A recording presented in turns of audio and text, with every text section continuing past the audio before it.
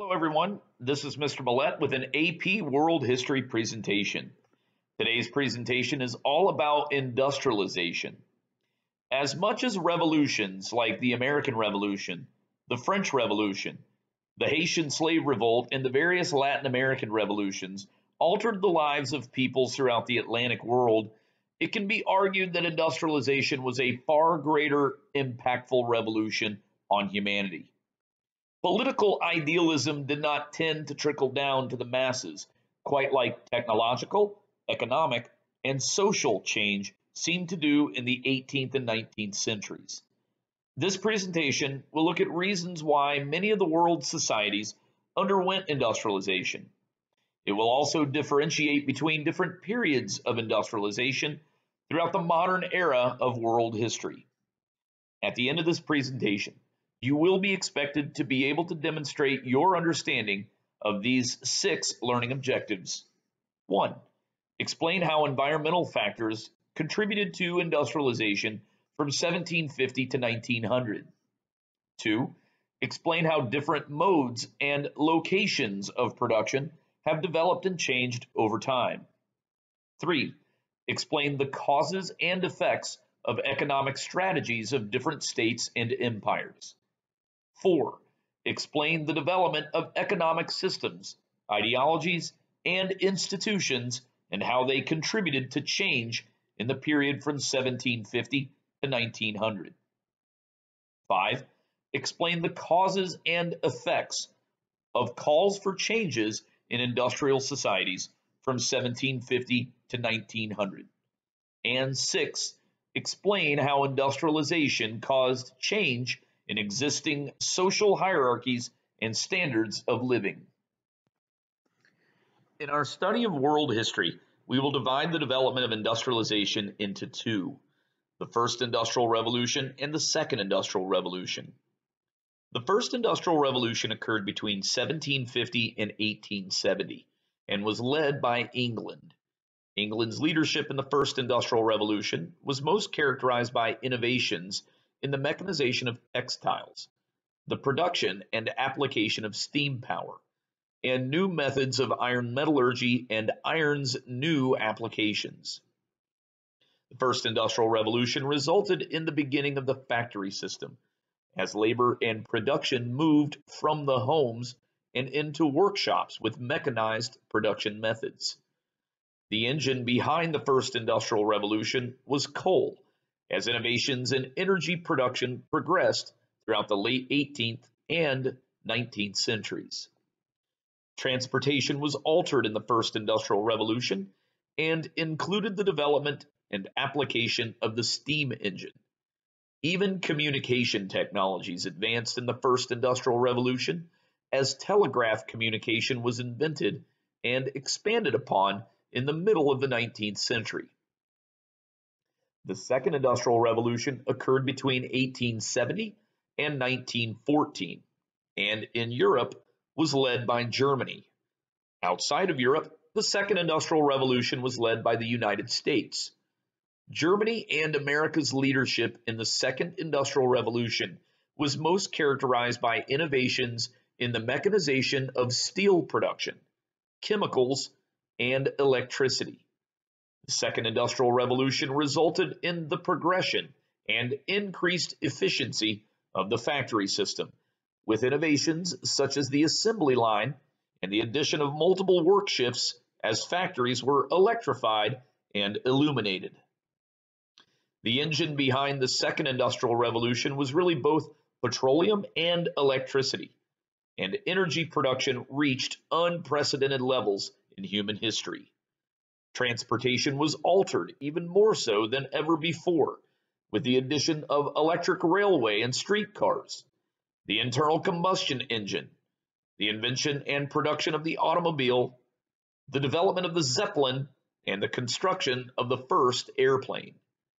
Communication technologies advanced well beyond their first industrial revolution predecessors with innovations in the electric telegraph that could expand across entire oceans, the telephone, and the development of radio.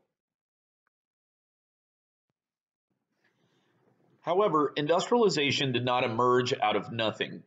In fact, 18th century England had several unique characteristics that made it a special place for the beginnings of the Industrial Revolution. If you will, there were a series of mini revolutions that were transpiring in England at the time.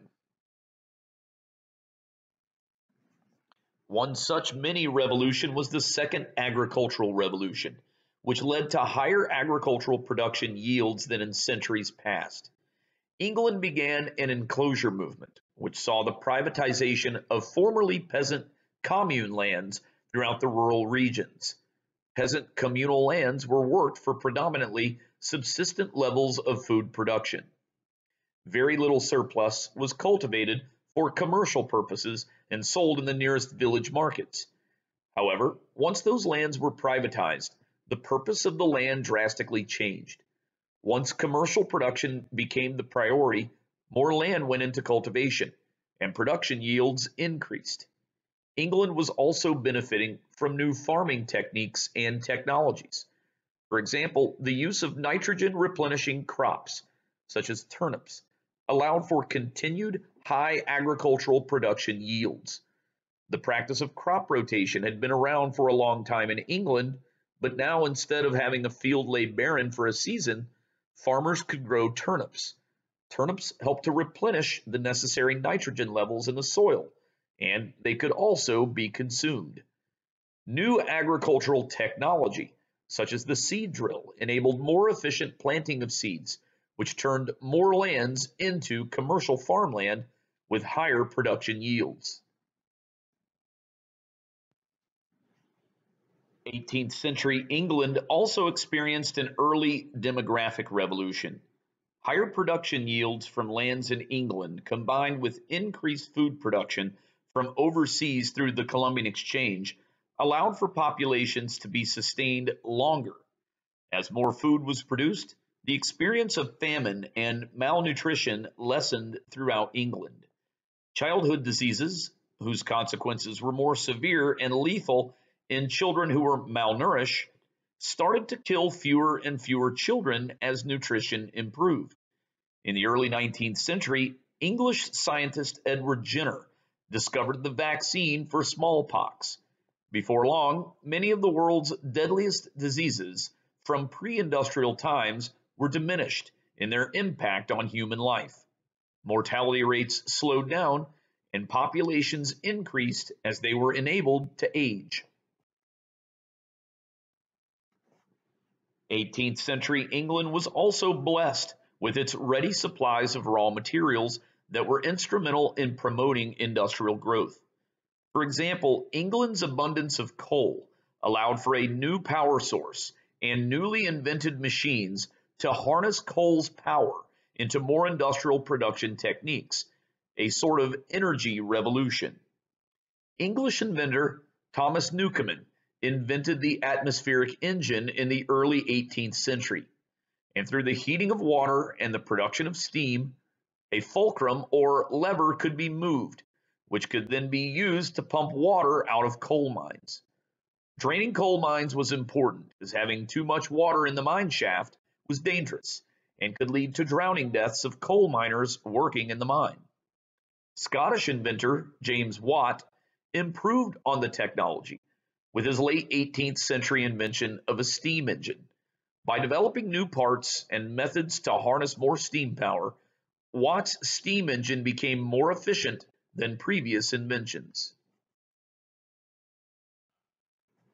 England also had an abundance of iron ore, which was basically rocks with iron in them. The iron could be extracted from the iron ore through smelting processes. Once smelted, iron could be forged or cast by blacksmiths to produce tools, weapons, machine parts, bars, nails, hinges, and other hardware items. Eventually, iron was used to develop bridges, railroads, locomotives, and train cars. England's abundance of iron ore and its improved techniques in iron metallurgy throughout the 18th and 19th centuries enabled England to lead the way in iron production and in the development of iron's applications in construction, infrastructure, and transportation. Between England's energy revolution and this abundance of iron, and even new iron production techniques, the nation was able to experience an 18th century transportation revolution. In spite of being geographically blessed with numerous rivers, the English continued to alter the natural landscape of their country. Canals were dug and thoroughfares and turnpikes were blazed so that once disconnected towns and villages could be connected in a commercial sense. Inspired by coal rail lines and coal carts, by the early 19th century, England began to lay railroad across its country. Steam-powered locomotives, designed by English civil engineer George Stephenson, would carry mineral resources to newly forming industrial sites throughout England. The transportation revolution not only changed England's physical landscape, but it changed the entire game of commercial enterprise within England. England would also involve itself in the engineering of steamships and followed the American leadership of Robert Fulton's Clermont and began to develop steamships that could traverse the world's oceans. Like the railroads changed the game of commercial enterprise within England, the steamship would change the game of commercial enterprise outside of England. 18th century England was also characterized by a bit of a market revolution. Mercantilism, the economic practice of early modern Europe, was challenged during the Age of Enlightenment by the physiocrats. The physiocrats believed that wealth was not measured in the state coffers and treasuries, but that a nation's true wealth was found in its productive land. Physiocrats argued that the practice of mercantilism and governmental regulations such as tariffs, taxes, and restrictions actually hurt a nation's wealth. The physiocrats believed that mercantilist practices should be ended so that a nation's wealth was no longer jeopardized by its faulty policies. In essence, the physiocrats believed in natural law and laissez-faire economics, or a governmental hands-off approach to the economy.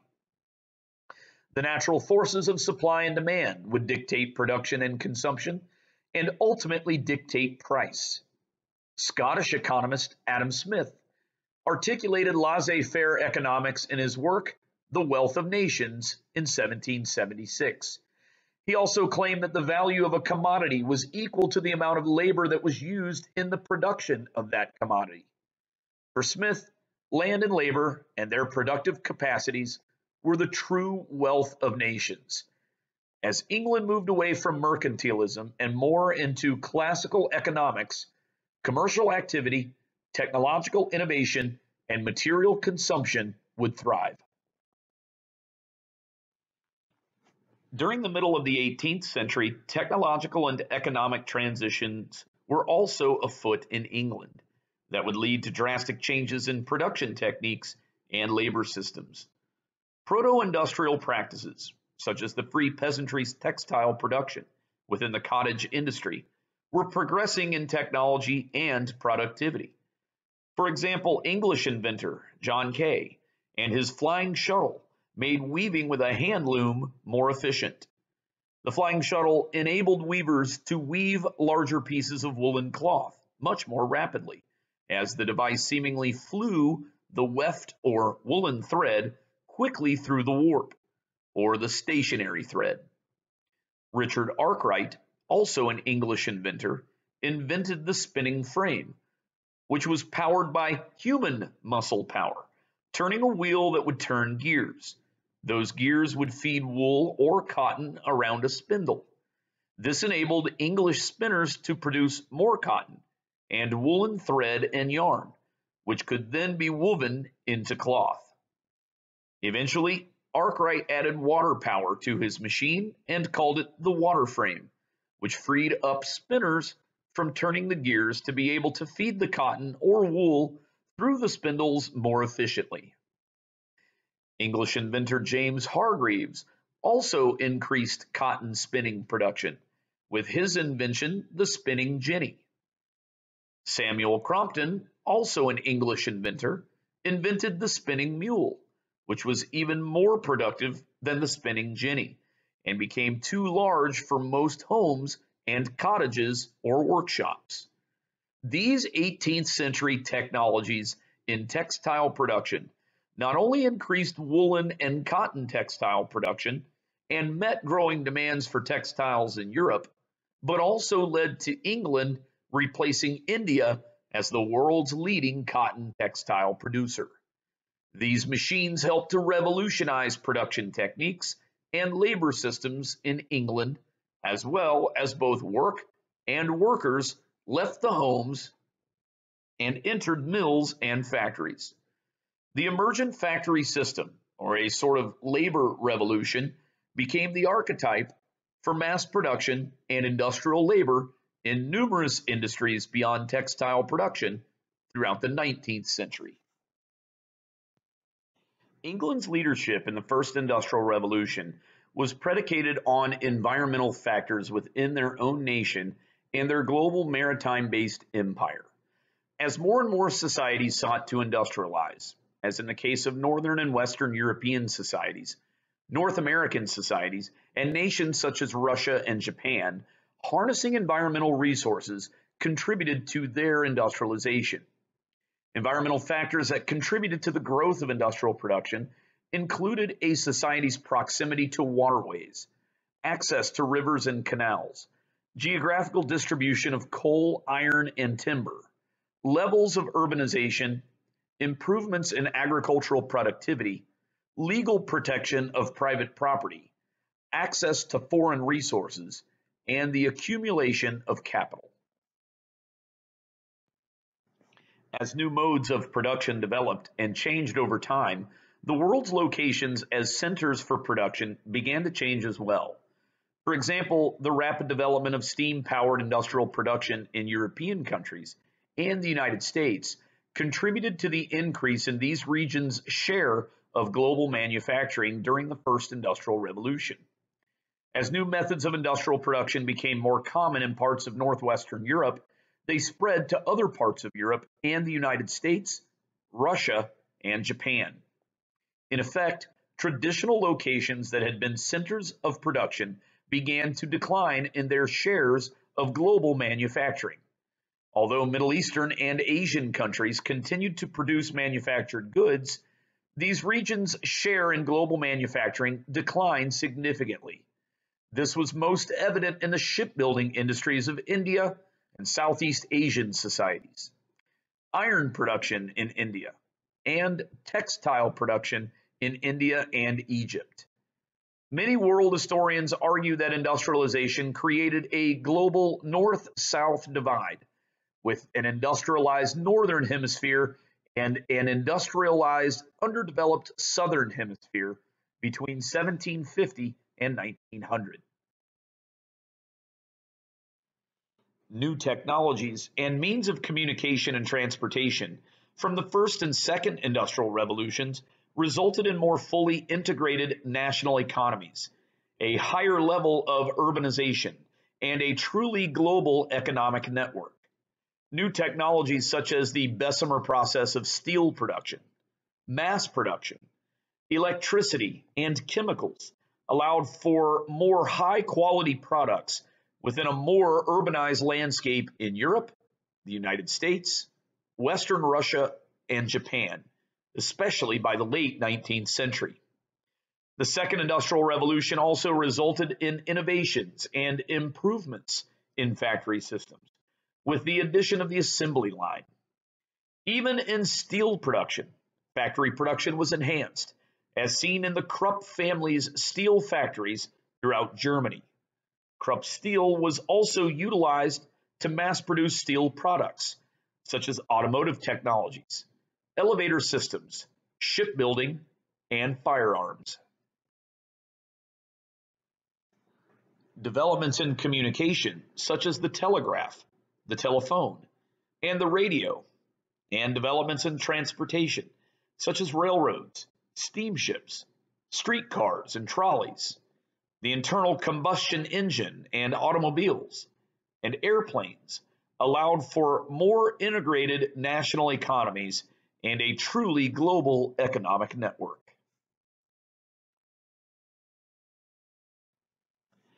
These new, more efficient methods of transportation and other innovations created new industries, improved the distribution of goods, increased consumerism, and enhance the quality of life for people living within industrialized societies.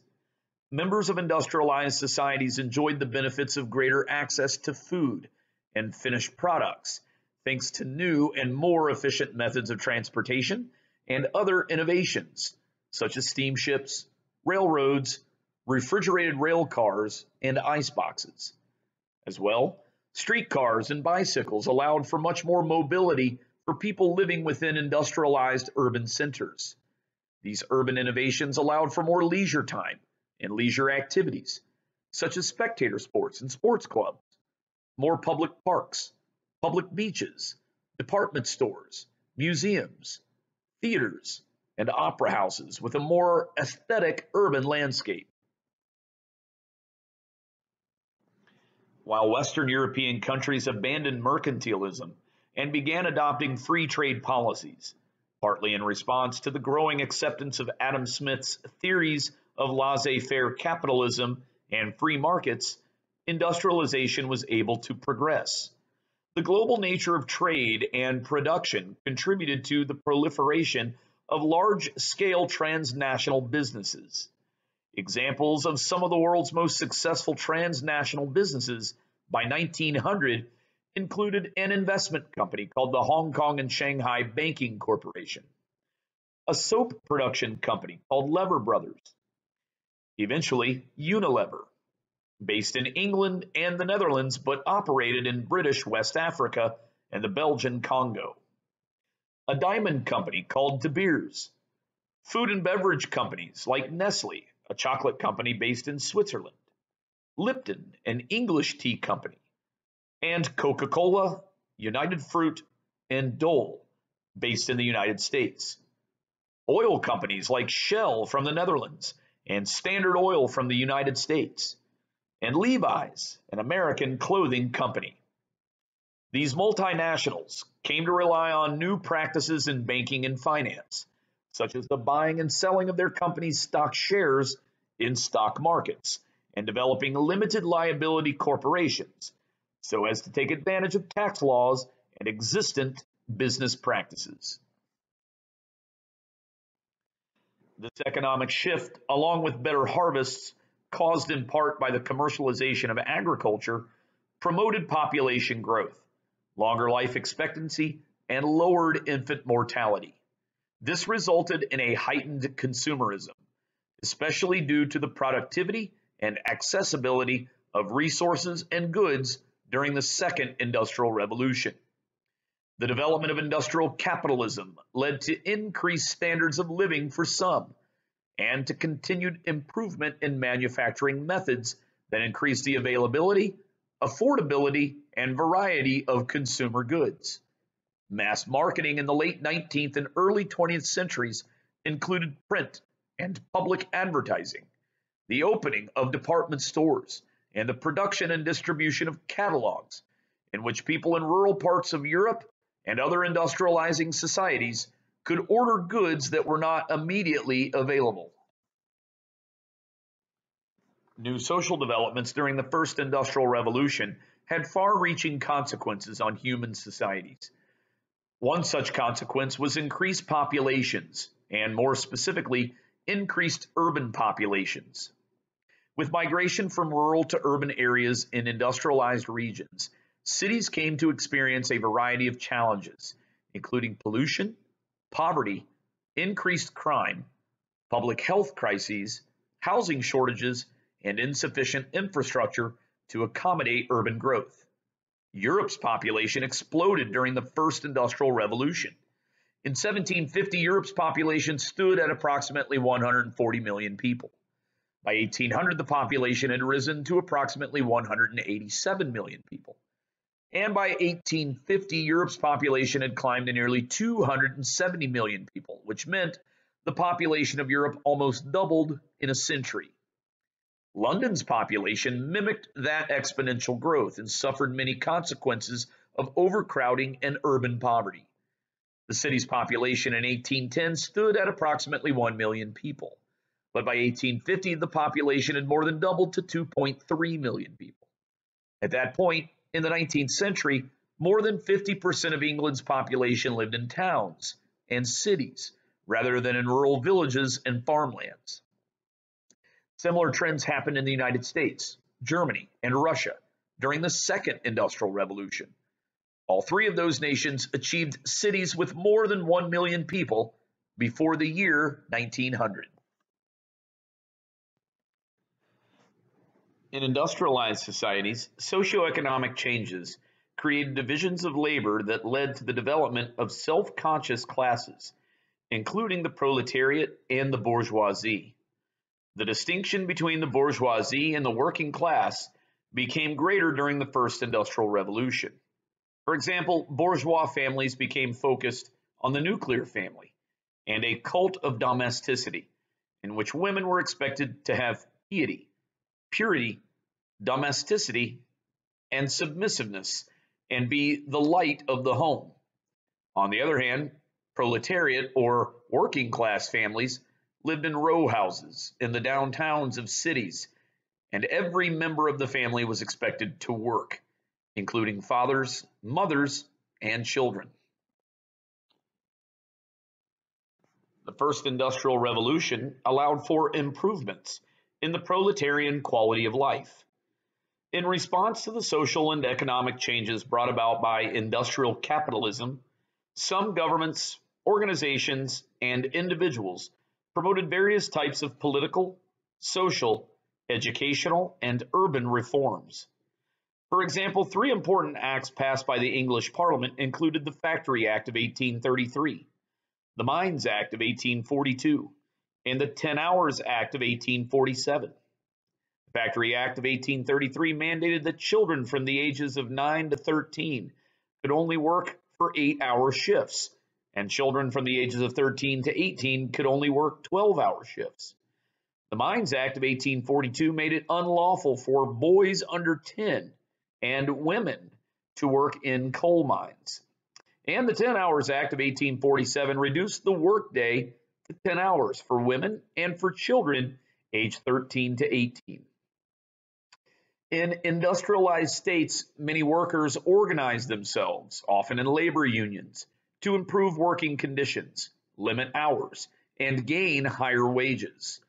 In some cases, the ideology of socialism influenced the development of workers' movements and political parties, such as socialist, social democratic, and labor parties. These socialist influenced political parties emerged in the democratizing states of Europe and the United States. In other cases, the newly established power structures of industrialized societies encouraged the development of more radicalized ideologies, including those espoused by Karl Marx and the idea of communism, which generated new visions for industrialized societies. Patterns of industrialization varied among nations as the second industrial revolution progressed. The next several slides will compare and contrast the patterns of industrialization of four select nations during the second industrial revolution. Germany, the United States, Japan, and Russia. We will compare and contrast the pacing and timing of industrialization the shape and size of industrialization, the role of the nation's governments in industrialization, the expression of the nation's social conflict as the nation industrialized, and each nation's major industrial developments during the Second Industrial Revolution. In the German states, industrialization did not begin until after the Napoleonic Wars ended in 1815, but picked up pace after 1871, when Germany became a single unified nation state. So Germany's timing and pace was late but rapid. Germany would come to lead continental European states in industrialization and nearly caught up to England by 1900 in production levels. Germany was one of the two leading nations in the Second Industrial Revolution. In the United States, industrialization began in the late 18th century, so its timing and pace was early and rapid, especially compared to other Western Hemispheric societies. The United States led the Western Hemisphere in industrial development, while Latin American societies remained agrarian with limited industry. In fact, the United States would become the world's leader in industry and production by 1914. In Japan, industrialization began late, as it did not start until the late 19th century. However, Japan's industrialization was rapid compared to the rest of the Far East, as it was the first nation to industrialize in Asia, as China failed to do so, and other parts of Asia fell to Western imperialism. Japan would become the most industrialized nation in Asia by 1914 and would come to militarily dominate the Far East with its military victories against China in the Sino Japanese War in 1895 and Russia in the Russo Japanese War in 1905. In Russia, industrialization was both late and slow. Russia did not begin to take steps toward industrialization until late in the 19th century. Russia had many roadblocks to industrialization, which included their economy remaining predominantly agrarian and their political system remaining archaic with an autocratic ruler.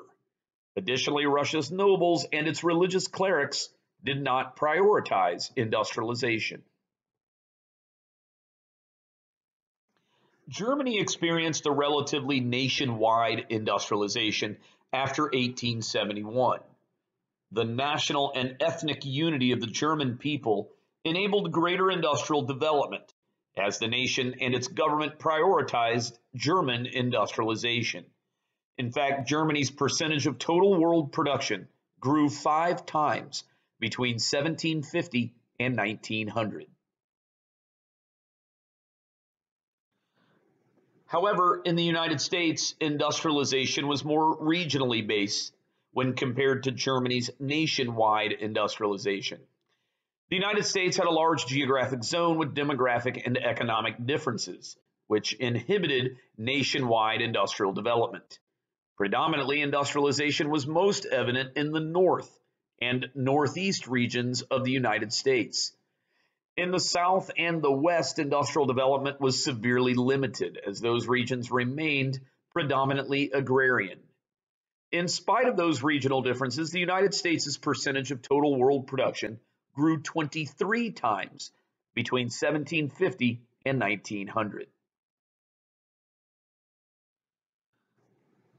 Japan, like Germany, experienced a nationwide industrialization throughout the late 19th and early 20th centuries.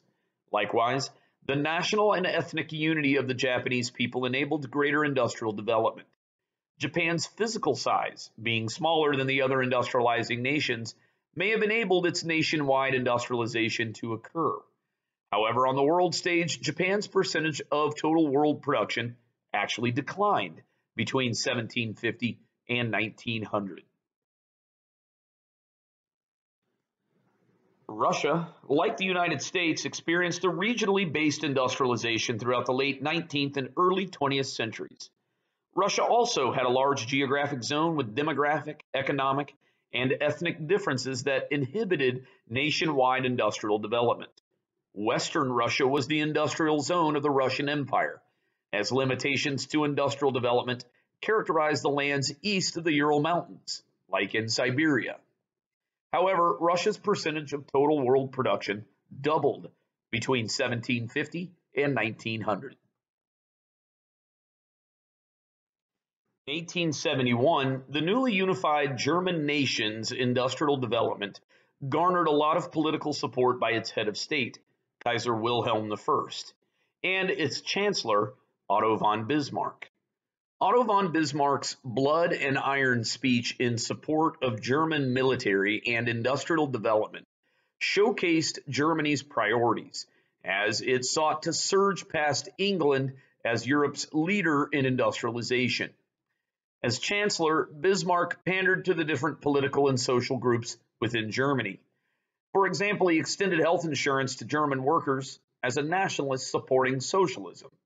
But when needed, he attempted to permanently disband Germany's Social Democratic Party, as he saw it as a threat to his own authority. Nonetheless, Bismarck's support allowed for Germany to become the most industrialized nation in Europe by the outbreak of World War I. In the United States, the federal government allowed for the development of corporations, multinationals, and monopolies to form. These new economic developments definitely pushed American industrial development to new heights throughout the late 19th century. Additionally, the federal government extended federal land grants, which was essentially free land, to railroad and telegraph companies. These land grants also contributed to America's increased industrial development.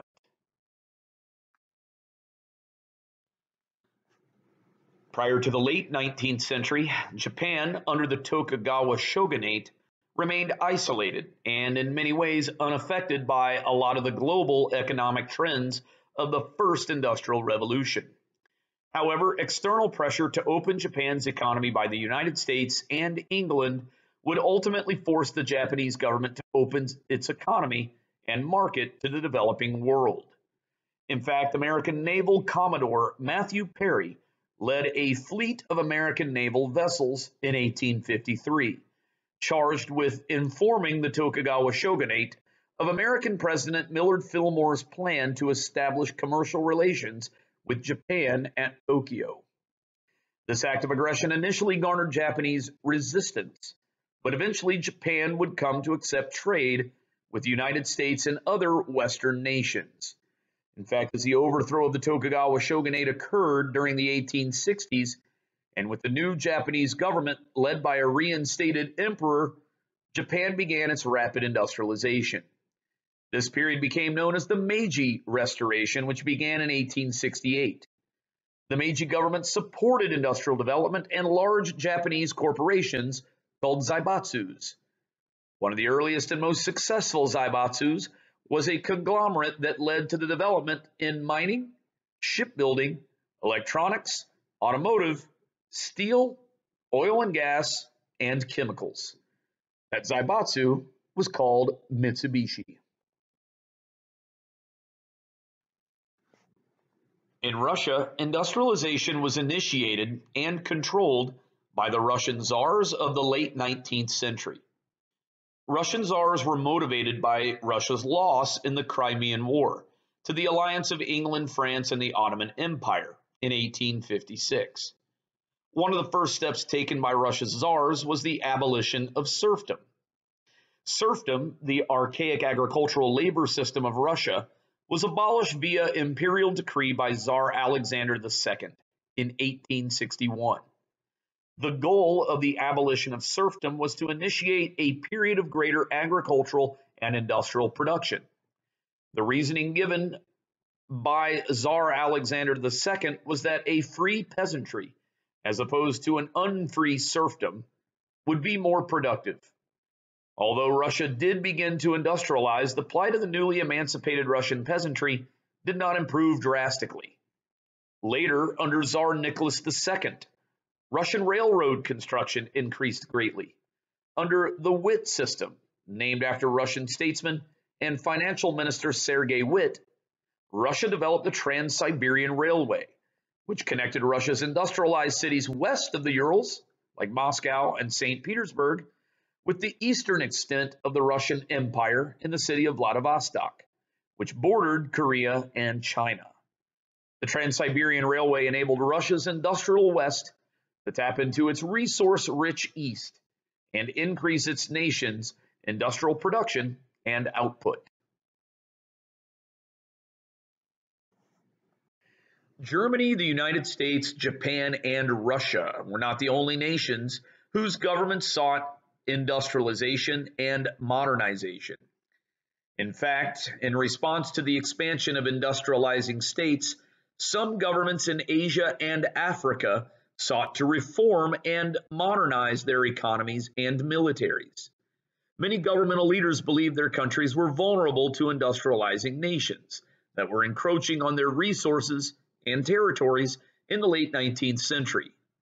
Both the Ottoman and the Chinese governments sought to reform and modernize their economies and militaries so as to resist more developed nations' advancements. In the Ottoman Empire, the sultans passed a series of reforms known as the Tanzimat reforms, which sought to modernize and secularize the Ottoman Empire's legal system, educational system, and its military, specifically its Janissary Corps. Likewise, in China, the Qing dynasty initiated the self strengthening movement in an attempt to modernize China's military and initiate its industrial development while retaining its Confucian traditions. In both cases, the reform efforts of the Tanzimat movement in the Ottoman Empire and the self-strengthening movement in China were resisted by conservatives and established elite groups. Islamic clerics believed the Tanzimat reforms disrespected Islamic traditions within the empire and gave way to Western culture replacing Islamic culture in the Middle East. Likewise, many Confucian scholars and Chinese noble families saw the self-strengthening movement as having been too friendly and receptive to Western culture, and they took action to reduce the reform movement's momentum. Both the Ottoman Empire and the Qing dynasty in China failed to industrialize and modernize to the level of Germany, the United States, Japan, and Russia. And by 1914, that was problematic for them, as they remained vulnerable to the more industrially developed nations. Industrialization did not come without discontent from various social groups. How those discontented groups expressed the social conflict in their respective countries varied in each of those countries. In Germany after 1871, for example, the parliament, especially its Reichstag, saw a number of Social Democratic Party members elected to power. Chancellor Bismarck and Kaiser Wilhelm I were not supportive of socialism and Germany's Social Democratic Party. In spite of their attempts to permanently ban the Social Democratic Party, socialism survived in Germany and forced the German government to enact protections and benefits for its working class. Bismarck, as a practitioner of real realpolitik, enforced a practical method of governance, void of loyalty to a single set of morals or political ideals, in order to strengthen Germany. In essence, there were points in his chancellorship where he supported workers when he deemed it necessary. But there were points where he took shots against worker friendly political parties and groups when he deemed it necessary. Unlike in European nations, labor, communist, socialist, and social democratic parties did not gain popularity in the United States. Therefore, labor protests and industrial worker strikes happened frequently throughout the Second Industrial Revolution in the United States. Oftentimes, those worker strikes became violent, as in the case of the Haymarket Riot in 1886 and the Pullman Strike in 1894, both in Chicago, Illinois. Eventually, the development of the Populist Party occurred, which sought to serve farmers' interests and combated policies that enabled industrial development. Like in Germany and the United States, in Japan the working class suffered a plight, as its demands often combated with the demands of the Meiji government. Japan's new constitution, drafted in 1889, created an imperial diet, basically the Japanese parliament. Yet no Japanese socialist parties ever formed until the 1920s. In essence, unions and organized strikes were illegal in Meiji Japan, as socialism was losing to capitalism within Japan. Because of this, Japan's working class suffered immense poverty and hardship. Russia's working class also suffered in a backward political system, like that of Tsarist Russia. Before 1905, there was no representative assembly in Russia, and political parties were illegal. This meant that there were no worker friendly political parties in Russia, or at least none that were legally recognized. This resulted in violence by Marxists and anarchists against political leaders, including the assassination of Tsar Alexander II in 1881. Eventually, the rise of an illegal political party called the Social Democratic Labor Party, which was influenced by Marxism, emerged. Beyond that, the development of worker councils called Soviets emerged in Russia's major industrial cities, like Moscow and St. Petersburg. These Soviets were worker councils who tried to implement local change that provided benefits and guarantees of improved worker conditions, wages, and hours. However, the Russian government failed to support workers' endeavors and garnered many worker demonstrations. One such demonstration occurred in St. Petersburg in 1905. The peaceful demonstration of Russian workers concluded with Tsar Nicholas II's imperial guards firing their guns into the crowd of demonstrators. This violent reaction and ensuing deaths became known as Bloody Sunday in Russia. In spite of setbacks to working class peoples in these nations, industrialization occurred in varying levels. In Germany, iron, steel, and chemical production thrived. Coal production also increased immensely. Railroads expanded, and Germany also became Europe's leader in the production of automobiles. Industrialization allowed the United States to lead the way in numerous industries. For example, the United States led the way in steel, assembly line manufacturing, the development and use of interchangeable parts, mass marketing and distribution, railroads, rubber production, mining, automobiles, aviation, telegraph and telephone communication, and electricity. Japan would come to lead Asian nations in railroads, cotton and silk textiles, armaments, and naval developments such as shipbuilding. Captured in Fukuzawa Yukichi's Goodbye Asia, the sentiment was Japan was to be the industrial leader of Asia and was to leave the ranks of such backward and archaic Asian races.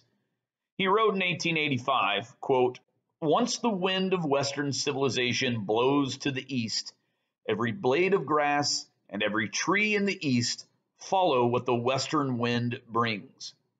We do not have time to wait for the enlightenment of our neighbors so that we can work together toward the development of Asia.